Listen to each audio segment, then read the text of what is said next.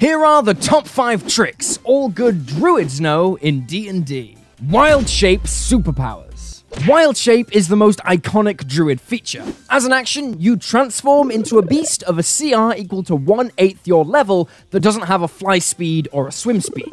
You unlock swimming at level 4 and flying at level 8. The Wild Shape feature is awesome. It's cool and really powerful. This is really powerful if you can make the most of your forms, but most players don't. So you can't cast spells while wild shaped, but you can still hold concentration on them and even activate ongoing spell effects. Example, you cast Call Lightning and then wild shape into an axe beak. You can now use that 50 foot movement speed to run circles around your enemies while still calling down that lightning every turn. This is incredible when you're fighting monsters that don't get good ranged attacks. Alternatively, you could cast Heat Metal, wild shape into a giant badger, and burrow 10 feet underground. As soon as you get underground, you're incredibly hard to reach and damage, and you can keep spamming that heat metal as a bonus action to cook your enemies alive in their armor. It's very strong, and Moon Druids can even wild shape as a bonus action to get these combos going even faster. That means concentration spells that have an option to move them or activate them for extra damage are especially good. Things like Heat Metal, Flaming Sphere, and Moonbeam, for example. If you can use your wild shape to maintain a distance from the enemies you're targeting, this is amazing. Then there are some other wild shape tricks you need to know. Firstly, you want to grab magic equipment that your favorite beast forms can wear. When you wild shape, you decide whether any equipment you're wearing in humanoid form merges into your new form, falls on the ground, or is worn by the form you take. If that equipment can fit the form you turn into, it becomes a lot more powerful. Example, a cloak of protection could totally work as a cape for a bear. So you don't only look fabulous, you keep that boost to AC and saving throws even when wild shaped. Rings and magic tattoos are other items that do work in your beast form. A Lifewell tattoo can even give your low hit point wild shapes a bit more staying power. Sometimes you need to be stealthy, but you aren't stealthy. Maybe you've even got medium armor on that gives you disadvantage on stealth checks. Well, the giant wolf spider has got your back, with expertise in stealth and a climb speed, and by shaping into it, you get rid of your problematic medium armor for a while. If you're on the move, there's no reason why you shouldn't be a clawfoot raptor a creature with expertise in perception. You might have a wisdom score of 20 at level 5, giving you a passive perception of 21 and an active perception check of plus 11. That's amazing, and you also get to be a dinosaur. Finally, any race or ability that gives you the option to speak telepathically is amazing for Wild Shape, because one of the big downsides is that you can't talk. For this reason, I love the telepathic feat on druids. It gives you a plus one to your wisdom and lets you chat it up with other players while in dinosaur form. All in, Wild Shape's probably the most exciting and the most complicated class mechanic in the entire of D&D.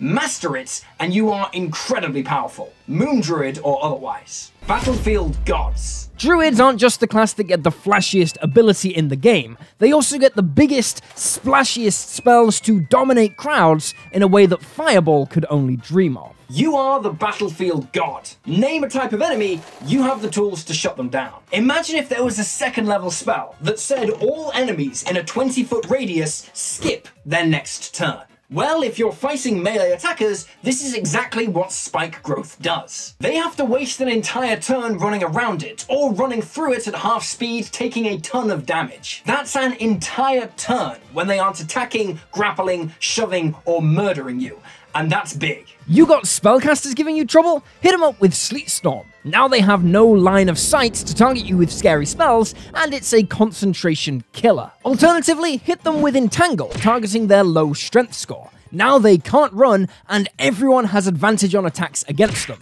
They'll be blown off the map in one round.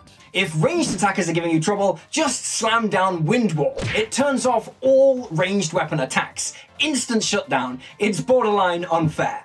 The best druids know that the battlefield is their playground. It's also awesome for building combos and team strategies, which is great for roleplay and just very powerful. An enemy caught in your spike growth can be pushed and pulled around by an allied warlock for massive damage, the perfect mix of teamwork and murder. What D&D is all about. You can also consider the Warcaster or Lucky Feats, giving you advantage on those crucial concentration saving throws. In addition, it means you are rewarded for paying attention to the map. If you can position yourself in a way that an enemy has to run through your spike growth, you're pretty much gonna win. Forget about wizards. Druids are the real big brain casters. And if you're still worried about dealing damage, don't be, because you have an option that does way more than Fireball ever will. Let's talk. Holodeck initiated. Computer, initiate boss fight. Generating boss. Good afternoon, Mr. Shorts. It's time for your course. yeah, fuck you, Bezos. I hated working at Amazon. Another one, another boss fight, more epic, more challenging. Riftborne protocol activated. Riftborne protocol. Ooh, that's pretty intense. This is this isn't gonna be too crazy, right? Uh, computer, uh, abort, abort. This, this is a bit too crazy. Can't abort. Stand and fight, pussy. Abort, abort. It's gonna kill me.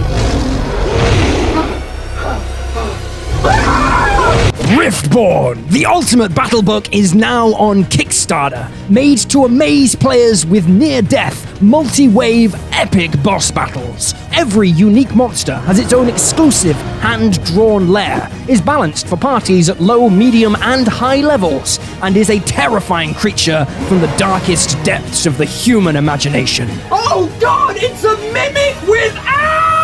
It even comes with a bunch of new playable races and incredible high quality minis. Get yours today by following the link below and terrify your players with the real epic challenge of the Riftborne. Summoning spells. Druids are arguably the most powerful spellcasters in most games of D&D.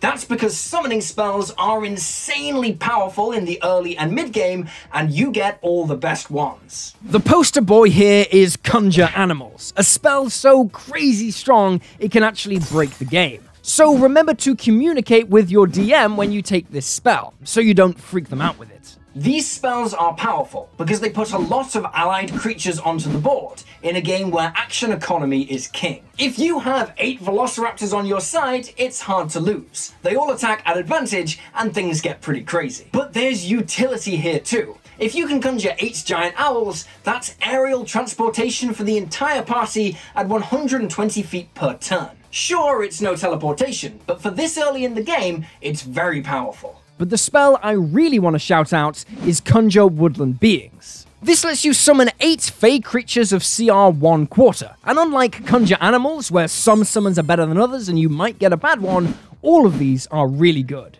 Boggles spray oil everywhere, attempt to restrain enemies, and can teleport around as a bonus action. Blink dogs are god tier if you need to take down enemies hiding away at the back, because the team can teleport in and slam them with 8 bite attacks. Sprites give you an army of archers who can turn invisible to attack at advantage and poison or even completely incapacitate an enemy on a hit. And famously, pixies have an incredible spell list to buff you and your allies, including Fly and Polymorph to turn the party into four flying T Rexes. They can also mess with enemies via Confusion, Entangle, and Sleep. Disgustingly strong. This is a real case of with great power comes great responsibility. Be ready to work with your DM on this and share control of your summons with other members of the party. Because if you go ham with these spells, they'll probably be banned, or you'll be smushed into a fine paste as every enemy in a 10 mile radius targets you mercilessly in an attempt to break your concentration. But even ignoring the multi-summon options, some of the single summon spells druids get are awesome. Summon Draconic Spirit is a pet dragon with multi attack and a breath weapon that you can ride. Have fun.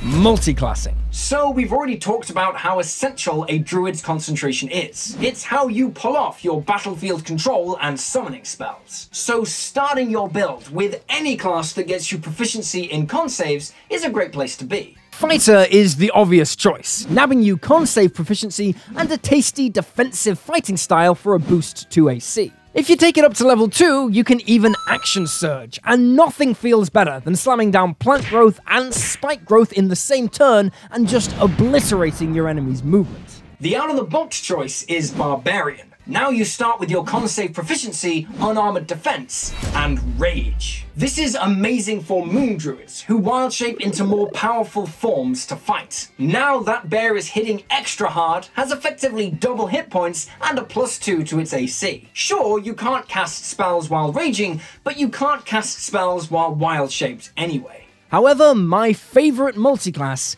is Cleric. Sure, you missed that con save proficiency, but just one level in Twilight Cleric gets you heavy armor, super dark vision, and most importantly, advantage on initiative rolls. Remember those big impact spells we were talking about? Well, they're most effective if you get them off early, before your enemy has a chance to mobilize, so going first is fantastic. It also gets you some extra spells, like Bless for support, Guiding Bolt for some blasting power, and Toll the Dead for the highest damaging cantrip in the game. Plus, clerics also cast off wisdom, so it's really easy to make this multi-class work without gimping your stats. And then you can go to second level to get the Twilight Sanctuary Channel Divinity, which is, let's be honest, completely OP.